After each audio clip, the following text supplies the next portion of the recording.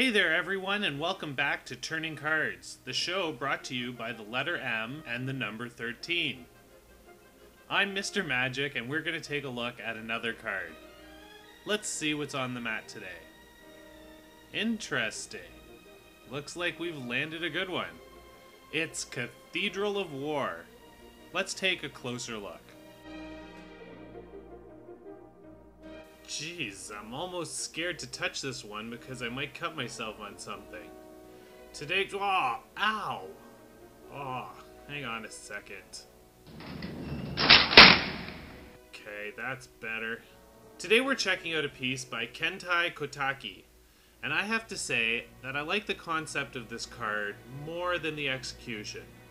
It's a little too dark, and I wish I could see more of what this cathedral has to offer. Also, I think that there must be some kind of mandate when it comes to art and land. The illustrations always look so empty because there are never any people in them. It would be cool to see who worships here. I wonder if they pray to the god of war. Oh! Ooh! Oh! Oh, maybe that's why it's empty.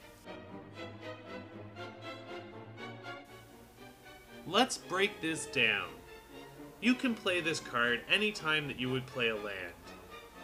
Cathedral of War is a rare, special land, and the Oracle text says Cathedral of War enters the battlefield tapped. Exalted.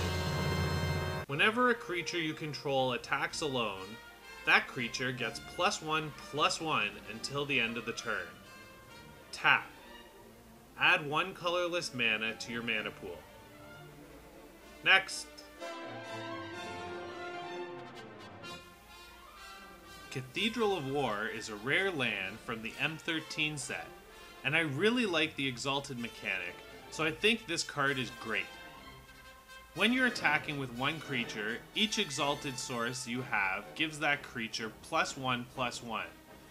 So, if you have a bunch of cards with Exalted, that can bring a game to a quick end. For example, turn 1 comes into play tapped. Chicken breast, butterfly.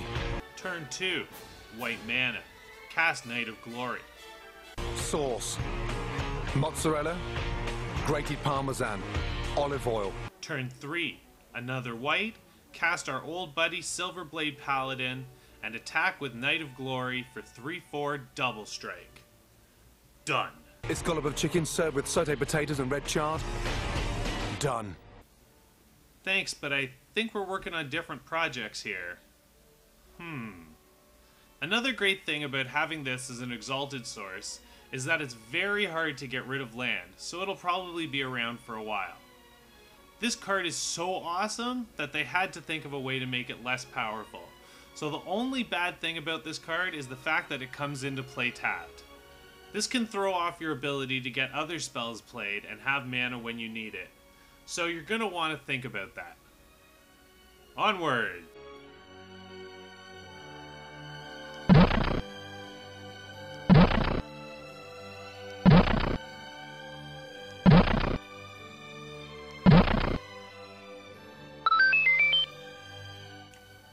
Well, that about wraps it up for another card.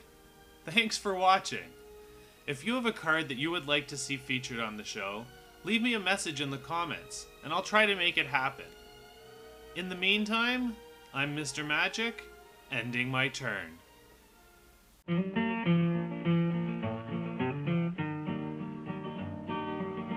This land is your land, and this land is my land from the California to the New York Island, from the Redwood Forest to the Gulf Stream waters.